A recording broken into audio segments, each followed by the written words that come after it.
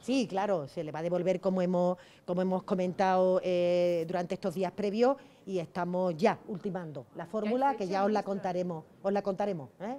Cuando la tengamos ya ultimado, está la agencia tributaria eh, terminando la parte tecnológica para las solicitudes y os la contaremos detalladamente. Espero que la semana que viene podamos contarla.